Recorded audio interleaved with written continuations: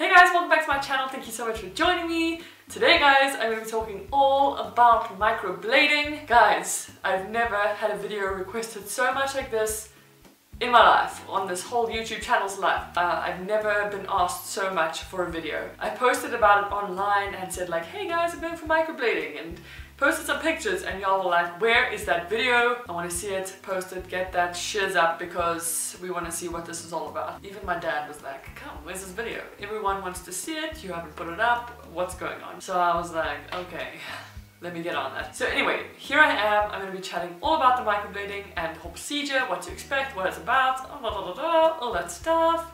So yeah guys, if you're not yet subscribed, please hit that subscribe button and also give this video a thumbs up if you like it. But if you want to see more about this whole microblading procedure, then keep on watching.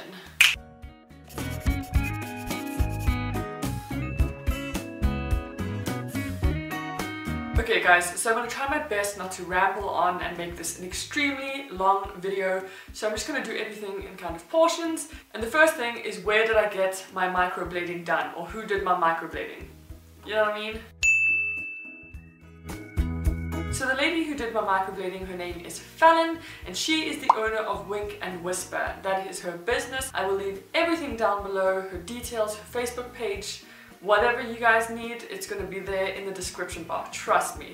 And basically, she is boss at doing false lashes and microblading. I met her online, we've been chatting back and forth for ages now, and long story short, she did the microblading for me. And guys, I'm not just saying this, but she is so, so awesome. Honestly, the most professional person I've ever come across in the beauty industry, just everything about her is so awesome and I really am not just saying that. She is amazing and I'm honestly so glad I went to her and you know She's just, I don't know what else to say. She is awesome. Okay guys, so the second thing is what is microblading? What is this thing everyone's talking about and we ain't got no damn clue about?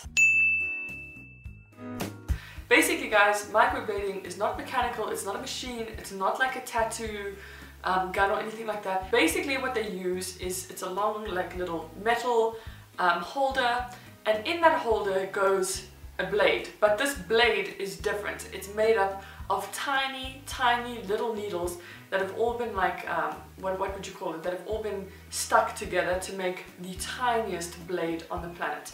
So it's like 17 needles or 14 needles. Falon was actually showing me the different gauges you get. You get like 14 little needles next to each other or 11. But basically, because the needles are so fine at the tip, when you add them all up, you've got like a super, super fine blade. And that piece just gets stuck into the handle and that is the whole thing that does microblading basically.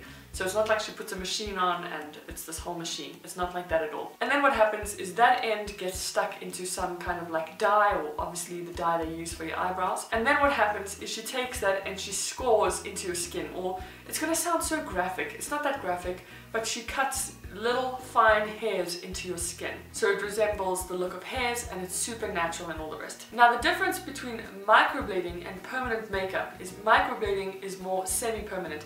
So, you know, it all depends on the person, but basically it's gonna last one to three years.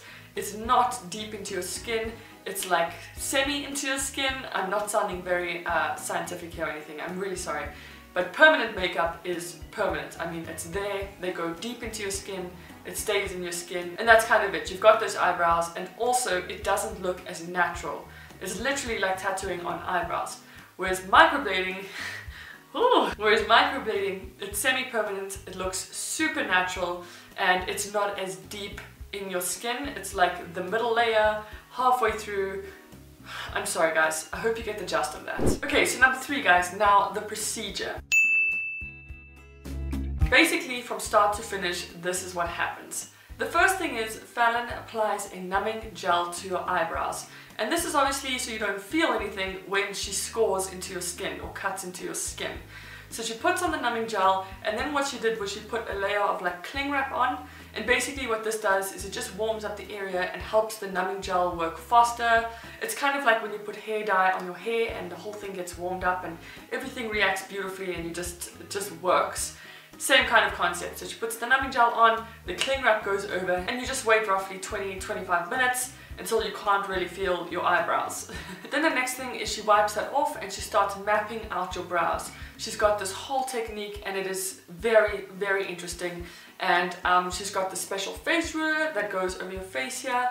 And basically just make sure everything lines up. So with my eyebrows, what was actually happening was they were kind of slanting more inwards. And basically the end of your eyebrow should never dip lower than this part of your eyebrow. And mine were doing that which actually makes you look a bit more aged. It looks like your eyes are sagging. It's more, it's more like an illusion. It looks like your eyes are more saggy. And what she was saying is that mine need to be brought out a little bit. So she mapped out the shape. She said, stand up, have a look in the mirror. Are you happy with that shape? And she also mentioned that whole thing about my brows and that she'd have to bring them out a bit, which meant she was going to have to take quite a bit of my ends away, which I was totally fine with because I was happy with the shape. I trust her completely. And um, what was nice is that she said, are you happy with the shape? Do you want anything changed? I was quite specific about my arches. I really wanted my arches more defined and I wanted the ends more defined. And she did that. I was very happy with the shape. So then I laid back down and she actually started the microblading process. And you cannot feel it at all, guys. This is something that's come up a lot in pain. I will get to that.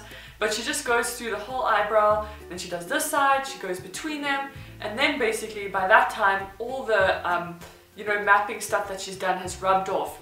And she says, you know, stand up, have a look at your eyebrows. Are you happy with them? I was very happy and she said, are you sure? Do you want anything else changed? I noticed there was one or two more hairs I wanted on my arch. She happily filled them in. I just like how throughout the whole process she's saying, are you happy? Is there anything you want changed? Um, you know, it's just, it's not like, lie down, I'm gonna do eyebrows and this is it kind of thing. I think a lot of people get that impression. It's not like that at all, guys. You, you can see what your eyebrows are gonna look like throughout the whole process, change anything and add to it or whatever you want. It's actually amazing. And then basically what she does after that is she lays you down again and she puts on I think it's called a mask, guys. I do stand corrected and I'm sorry I don't have the exact term here. But basically what she does is she takes that exact pigment that she used when she scored your eyebrows and creates like a mask over your eyebrows and just rubs it in. And basically what that is doing is making sure if there wasn't any pigment that landed up in those marks, it's in there now. So it's just going over all those lines and making sure there is definitely ink in them and that it's going to look full and inked and all the rest. I hope that makes sense. And then finally, after she rubbed that mask off, she puts on a double barrier cream and that's just so nothing is going to get to you know, your cuts or your scores. It sounds so weird saying that, I'm sorry. And I hope it doesn't freak you out. It's really, it's really nothing to stress about at all. But it's just, you know, you've actually opened up your skin and stuff. So you don't want it to get infected and you don't want dirt and dust on there. So this barrier cream is basically just to prevent any germs or nasty things getting on your eyebrows and on those score lines. And that is basically the whole procedure. Then you get up and you go on home. The whole procedure, Falon was saying to me, could take about one and a half hours which I thought was nothing. I honestly thought microblading would take about four hours. That is not the case at all. Um, so yeah, it's really about one and a half, two hours I'm sure, which is pretty damn quick if you ask me to get the most amazing eyebrows ever. Then onto the pain part. So this was probably the one thing I was asked the most. How sore is it? Can you feel it? Is it excruciating? No, not at all guys. Like I said in the beginning, the first thing she does is she applies a numbing cream. And that is literally so you can't feel your eyebrows or your skin or anything where she applies it. So as she started my microblading here, I couldn't feel anything whatsoever. Um, and then as she got more to the arch and the lower bit of the arch and the end, you can start feeling it a bit more. But as soon as it got a little bit painful, I said, well, found it, it's a little bit sore, no problem. She moved on to the other uh, eyebrow and just applied more numbing cream. And the first thing she said to me was, if it gets sore, tell me and we'll apply more numbing cream or, you know, we'll make sure it does not hurt. You know, I think in some people's head, they just think if something hurts, they're just gonna keep on going and keep on hurting me. That is not the case. If you start feeling it or feeling pain, you just say, whoa, hang on a second, I can feel that, it's kind of sore, you know, and they make a plan for you guys. You're not going to go there and Falon's going to torture you while she does your eyebrows. That is definitely not the case. And yeah, it is not meant to be sore. So do not think it's going to be this hair-raising, painful procedure or whatever you want to call it. It is definitely not that, guys. Then onto the aftercare. This was another thing you guys really wanted to know about and surprisingly the aftercare is actually super easy. I thought it was going to be complicated, not at all. So after I had my brows done, Falon gave me this little card. It's got everything on here about the aftercare and then also a vitamin A plus and vitamin D ointment which you'll use. So once she's done your eyebrows, you go home and you do not touch your eyebrows for five days. You do not get them wet, you do not wash them, don't wipe them, scratch them, itch them, do anything to them, you do not apply any product, nothing guys. Do not touch your eyebrows five days. Then after day five, you can take a wet cotton pad and basically just wipe them very gently to start getting them a bit clean. And then you're gonna start applying this ointment three to four times a day. So I'm basically in that stage now. I cleaned my eyebrows with a cotton pad very, very gently because you don't want to pull the scabs off and you don't want to reopen those kind of score lines or those cuts. You just want to be very, very gentle. It's literally like, you know, a cut, so it does scab and you've got to be very careful with it guys. But most importantly guys, do not scratch at them, pull the scabs off or anything like that, it sounds so gross. Um, but they do get very itchy and just try your best not to scratch them because you don't want it to scar or anything bad to happen, you don't want it to get infected or anything like that, so yeah, other than that, it's super easy. I even bathed, I didn't shower because I didn't want any water running on them, and they will be completely 100% properly healed after four weeks. That is the time it takes your skin to like regenerate, heal, and all that jazz, so after four weeks, completely done, and yeah guys. So finally guys, the before and after. Here is what my eyebrows looked before I went to Falon, obviously. You can see they're quite light, there's not that much definition. Um, my arches aren't really defined, the ends aren't really defined. Um, they're not like completely awful, like oh my god, look at her eyebrows. Um, they were fairly full and everything like that, but I just wanted them to be more precise, a little bit darker, more chiseled, you know. I didn't want to have to fill my brows in every single day. And here's what they look like now, guys. This is literally the day of the procedure. I came straight home, kind of touched up my makeup a little bit, and this was exactly how my brows looked afterwards. And you can see, you can still go out that night, you can still go to meetings or see clients or anything. It's not like this giant mess and you've swollen up or anything like that. Um, I was actually amazed. I thought I was going to swell up a lot after having them done, but that was certainly not the case.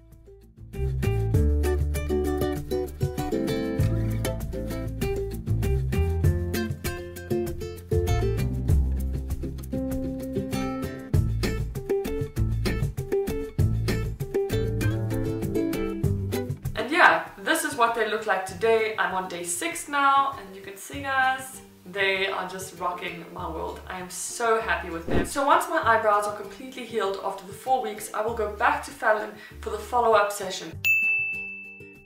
And that is equally important. It's to see if everything's settled in place, just to make sure you are still completely happy with your brows and she goes back over everything and makes sure they're even more fuller, makes sure the ink's properly in place, and she just does a touch-up session basically. Also what will happen is they will start fading slightly. So they look fairly dark now because they're still in the healing process, but once they're completely 100% healed, they will be about 30 to 40% lighter. So when we were actually going through it, Falon was saying she wants to go a darker color, which I'm 100% happy with. But basically the first time around, I'm glad she went a bit light because obviously I can see, all right, this is very natural, I like it, let's carry on. So there is a follow-up procedure. It's very important to go back for it and just make sure you are 150 million times percent happy. Hope that makes sense. But yeah guys, that is basically it. I really hope you enjoyed this video and I really hope you got to see a little bit more about microblading and how the whole procedure is done. You do not have to be afraid about it or anything like that. And I would highly, highly, highly recommend you go to Falon. That's who I went to. I trust her so much because honestly, she is so professional. She did my eyebrows like so damn good. Just so damn good. And yeah, I wouldn't recommend anyone else. So I will leave all her goodies below as I mentioned. I'm sorry if there's anything I left out. Um, I'm just still trying to think if there's something I've left out. But if you have any questions, please guys, leave them down in the description box. I know Falon will also be checking out this video once it's up and I'm sure she'll answer if there's something I can't answer. As I mentioned in the beginning, please hit the subscribe button if you're not yet subscribed and also give this video a thumbs up if you liked it. But until next time, bye!